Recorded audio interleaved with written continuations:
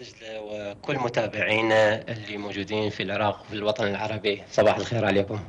صباح الخير وأكيد نورتنا. بداية حابه أسألك هل رأيك اليوم برأيك اليوم ما تصنعه الصين من التكنولوجيا انه تريد تحتل عقلنا وتعرف عواطفنا وتعرف غضبنا؟ هذه التقنية صحيحة وناجحة برأيك أم لا؟ طبعا آه، مثل ما تحدثت في بداية الموضوع إنه افادت تقارير على معهد اي اي اللي موجود في مركز هيفي الشامل للعلوم الوطنية في بكين إنه اخترعوا برنامج جديد للكشف عن آه، ال user من خلال ملامح الوجه والسيطرة على الموجات الدماغية.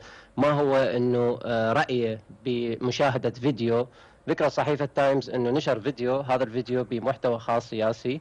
فمن خلال التعابير الموجودة على الوجه الإنسان هل هي إيجابية أم سلبية راح يتعرفون أنه هذا الشخص راضي بالنسبة لهذا الفيديو أو لا نعم طيب برأيك هل راح تنجح هاي التقنية؟ هاي التقنية راح بالنسبة على ناجحة؟ بالنسبة على مستوى الصين هي أكيد ناجحة لأنه تعرفون أنتم الصين هم عندهم بلاتفورم بعيد عن عن اللي عندنا مثلا مواقع التواصل الاجتماعي مثل الفيسبوك والجوجل هم عندهم مواقع تواصل اجتماعي أخرى وغالقين على البلد مالتهم ومسيطرين على الشعب مالتهم. فلذلك المستخدمين اللي موجودين في الصين يستخدمون مواقع تواصل اجتماعية مثل الإكس ونا مثل الويتشات مثل السينا ويبو. فهذني المواقع آه، إنه مسجلين إلها آه، لازم تذكرين بها معلوماتك اسمك الحقيقي. أيضا أكو في خاصية إنه تتعرف على الوجه إنه هذا الشخص مو روبورت إنما شخص حقيقي وبالإضافة إنه ينطي ال national ID مالته حتى يفعل الحساب مالته خاطر يقدر يسولف ويا الأصدقاء ويعلق فمن خلال قراءة التعليقات هناك سكريبتات مدعومة بالذكاء الاصطناعي آه، تحلل هذا التعليق وتحلل أيضا من خلال الكاميرا اللي موجودة على الهاتف تعابير الوجه اللي هي حقيقية إنه هو راضي عن هذا الشيء أو لا. طيب خلينا نتحدث عن التقنية من الناحية التكنولوجية، أريد أعرف راح شلون راح تطبق وشلون إجتي أصلا وهم راح أو هم راح يصير إنه تقبل من الناس إقبال عليها راح يكون من الناس؟ آه، لو نرجع إحنا شوي نبسطها بالأمر هي هاي التقنية موجودة بأغلب البلاتفورم. لذلك اللي المواقع التواصل الاجتماعي أقصد بها هم موجودة عندنا. لذلك إحنا مرات من نسولف على فد منتج معين وإحنا ما بدينا التليفون بيناتنا كأصدقاء راح نجي آه، نفتح مثلا مواقع التواصل الاجتماعي راح نشوف إنه إعلانات على هذا المنتج اللي سولفنا به قبل شوي. نعم فإحنا شو نقول؟ نقول إنه مواقع التواصل الاجتماعي جاي تتجسس علينا. لا إنه أكو هذا الشيء إنه أكو سكربتات مكتوبة بلغة برمجية إنه إذا هذا الشخص تحدث على نوع معين يظهر له الإعلان من خلال قاعدة البيانات الموجودة المخزنة. فهي هاي عملية ال business اللي موجودة بمواقع التواصل الاجتماعي. ويعرف ان ال user هو آه، مدمن آه، أغلب وقته في هذا الوقت الحالي على الإنترنت. نعم زين. شو يعني شنو الهدف من هاي التقنية؟ okay عرفوا تحركاتنا وعرفوا نوايانا وأحاسيسنا وكل هاي الأمور. وبعدين بالنسبة للسياسة بالنسبة للسياسة راح يسيطر أكثر على المجتمع وعلى الشعب مالته راح يعرف أنه وين الآراء مالته وين توجهاته. فراح يسيطر على الشعب مالته بالنسبة للسياسة. لذلك الصين هي من نزلوا الفيديو ذكرت صحيفة تايمز نزلوا الفيديو أنه كيفية مشاهدة شخص على محتوى سياسي أنه هو هل هو راضي على آه، نظام الحاكم الشيوعي عندهم أو لا. وبعد فترة راسا مسحتها الصين حتى لا تتعرف الدول الأخرى أيضا على التقنية اللي قدروا يوصلون إلها في مواقعهم وبرامجهم المدعومة بالذكاء الاصطناعي. أكيد. طيب برأيك راح تكون دقيقة في كشف مشاعرنا وأحاسيسنا وعواطفنا اللي إحنا ننطيها للناس. حتكون دقيقة بهذا الشيء؟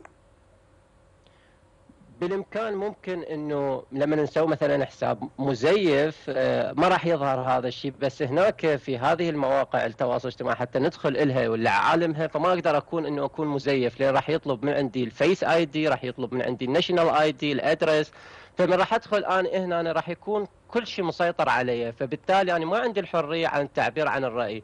لأن إذا عبرت عن رايي بشكل مخالف أو مضاد للمحتوى اللي أنا دا أشوفه فراح تكون السلطات قريبة على مركز بيتي وراح يستدعوني وإنه شنو توجهاتك وليش أنت مخالف أو أو ضد الحكم السياسي. فبالتالي هذا الشيء موجود هو حقيقي وموجود أيضا للدليل يعني بخوارزميات اليوتيوب أو موجودة بالفيسبوك. مثلا لما نفشر أو نكتب شيء في شهر وندزه كتعليق ما يظهر يخفي.